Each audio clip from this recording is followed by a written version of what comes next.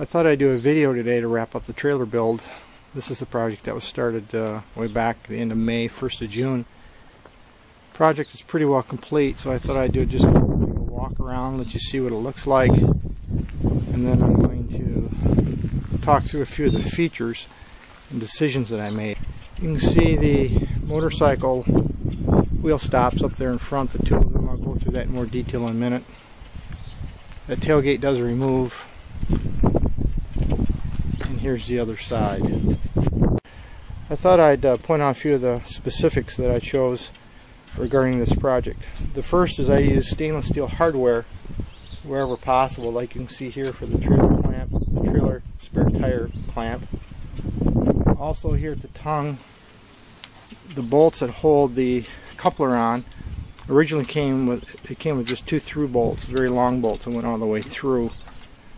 I'll replace those with stainless steel, four individual stainless steel bolts that only go through uh, this section here on each side. So I, I have four separate bolts with aircraft nylock nuts on the inside.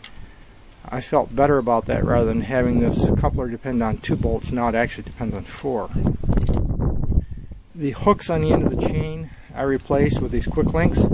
These are 5 16 quick links I just feel more secure. I'm not real wild about the hook idea.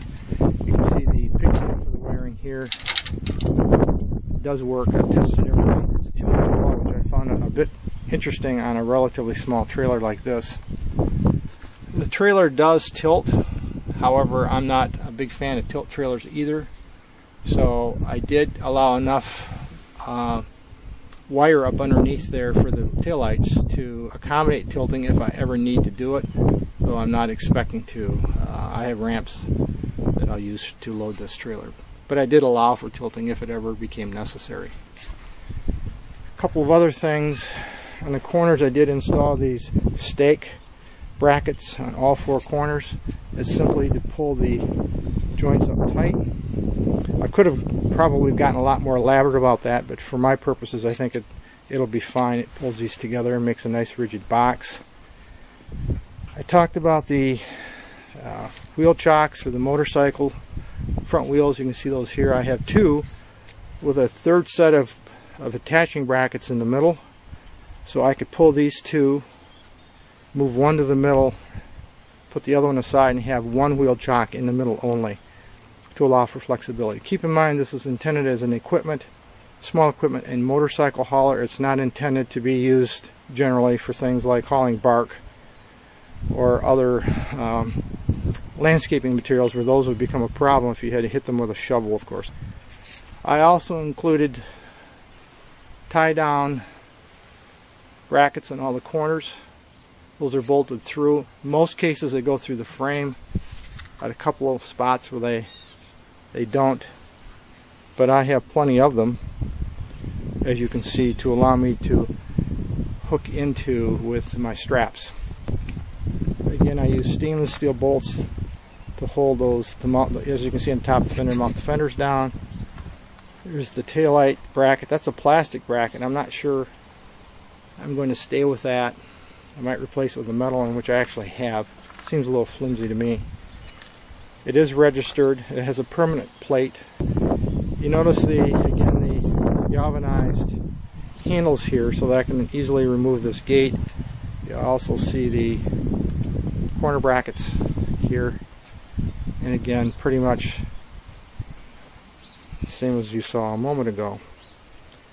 So those are the major elements of the trailer. Now, one might notice the gaps in the bedding. That's because when I put the trailer bed together, which was uh, several months ago now, during the summer, it was the lumber was still a bit wet, and as it's dried out, as is typical of this kind of thing, it, it's shrunk and created some gaps, which for my purpose again really are irrelevant, won't really make any difference. Over here are the ramps that I'll be using to load and unload anything wheel that requires that, and I'll uh, I'll show that set up here in just a minute. In this segment I'm going to show reinstallation of the tailgate.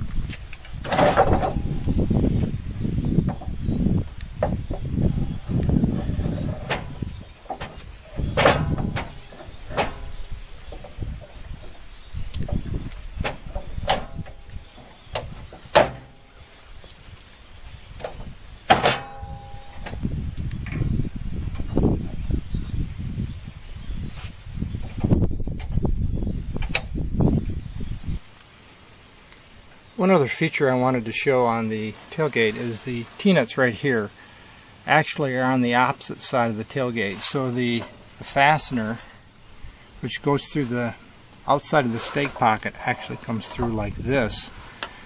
You can see I've glued them in and the idea was that as I tighten the bolt, it actually pulls the T-nut into the wood rather than attempting to pull it out from the opposite side. Uh, this uh, fastener, by the way, is stainless steel, as most of them are, where I had an, had an option to use stainless steel, I did. In this segment, I'm going to demonstrate the attachment method for these wheel chocks. So I have three sets. It's keyed into the slot here, this, this uh, shoulder bolt. You simply align this shoulder with the key, there's two of them, like that,